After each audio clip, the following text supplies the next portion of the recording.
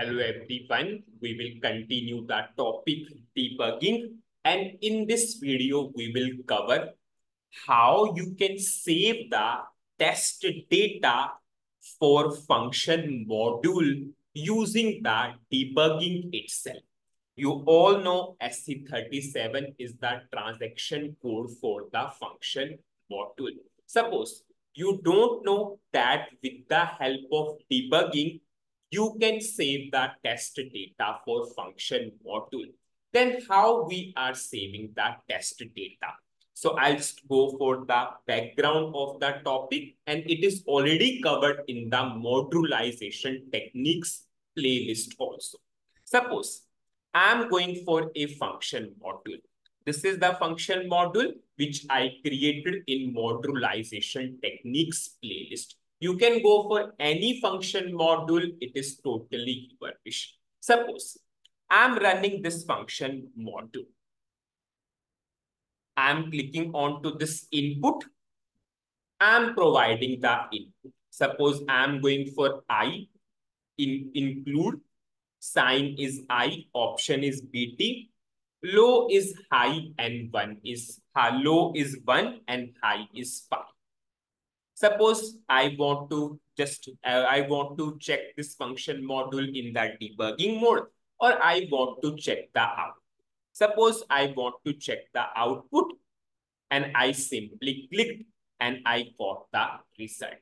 Suppose after some time or after few days or after few hours, I want to check the output of the function module. Then what we will do, I will again go to the function module I will execute the function module and I need to provide the input again. So how much time consuming it is every time we are giving the input and checking the output. So what SAP is saying, you can save that as a test data. So next time you can save that test data. So it will save your time ultimately. As of now, this function module has one input parameter just think about a real project in which a function module has so many parameters. Then you will provide the input to those parameters again and again. No, you will always, always save that as a test data. Suppose I'm going for option sign I, option between low 1 and high 5. Anyways, it is fully, fully explained in the modularization techniques playlist but here, to understand the context, I just need to recap that. I just need to take a reference. Now, what I will do, I will simply, simply save this test data. So how I will save? I have a save button here, or I can simply go to edit save data record. Suppose I'm saving. I will just give the comment. Suppose I'm saying order number 1 to 5.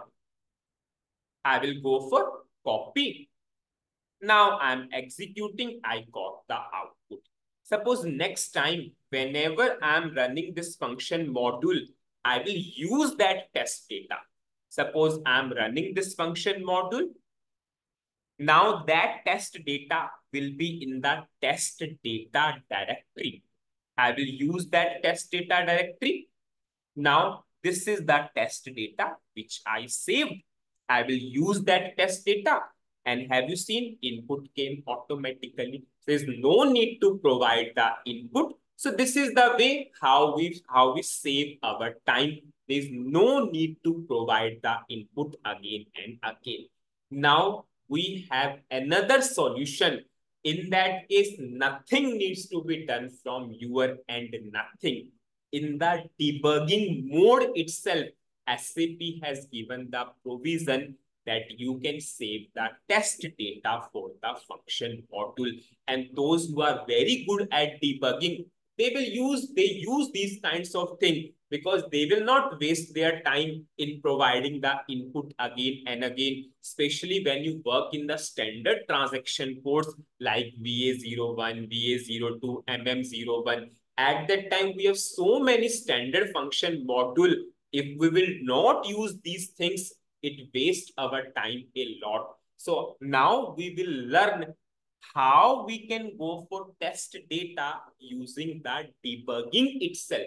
With the help of debugging, we'll save that test data. So nothing needs to be done from your end, which we are doing. So what we will do? We called this function module, this function module, we are calling into this particular program. Anyways, you can take the example of any program in which you have a function module. Now what I will do, I'll put a breakpoint into this function module. Sorry, in the, not in this function, in this program itself. Now just see, as of now, this function module has four test data. I will run this particular program. Suppose I am giving the input 1 to 10 order number. I will go for execute. Now, in this program, we are calling this function module. Now, what we will do, we simply, simply, we are passing this input to this function module. I will do F5. Now, I'm inside the function module. So, whatever the input is there, it is into this particular parameter, S-O-N-O. Now, what you can do, you have a button here services of that tool. Click here. Now you have a option here. Save parameter as test data and SE37 transaction code.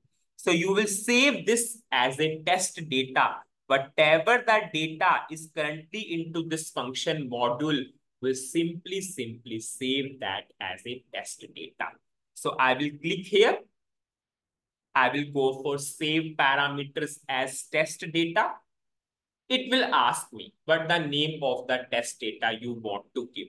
Suppose I will give order number 1 to 10. I will go for OK. Now it's saved as a test data in SE37 transaction code itself. Suppose I'm running this. Now you can work on your function module independently. Now, where this function module has the test data. Suppose I'm going for this function module. Now you can simply run this function module. If I will go for test data directory, have you seen I got a test data here? I will simply, simply click and I have the order number 1 to 10. This is just a very simple example I have shown you. Just think about a real project in which we have big, big function modules. Will you provide the input to those function modules? No. What we will do, we'll simply, simply go to that debugging mode. Whenever we are going inside that function module, we'll save that as a test data then that test data remain permanent for that particular function module in that test directory. At any point of time, I can simply run the function module. I can check the various points. I can check that data, what was that data in that particular function module for that particular test is widely, widely used and especially technical persons, those who are good at coding, they use all these kinds of things because it wastes our time a lot. If we don't know, yes, suppose if you don't know that in the debugging also, you have a provision to save the test data for the function module. Still, you need to put the input one time, then you can save the data. But if you know that in the debugging itself, you can save the test data for the function module. So it saves our time a lot. So what is the summary of this particular video? In this video, we covered that in the debugging mode also we have a provision to save the test data for the function modules means SE37 transaction code. Previously, if you don't know what you were doing, you are providing the input, you are saving that as a test data, and next time you are using that. But SAP has given the provision that in the debugging mode itself, you can save the test data for the function module and you can use Uh, or say then as a part of that, how you can do? you can enter into the function module. We have a button here, services of that tool, and we will get save parameter as test data SE37. You can save that. And best part, you can change the values and you can save that also as a test data because nothing needs to be done from our end. In that debugging mode, change the value and save that as a test data. And next time you can save that test data. You can run that function module. You can check everything. So that is the best way to debug. So that's it in this particular video. Thank you.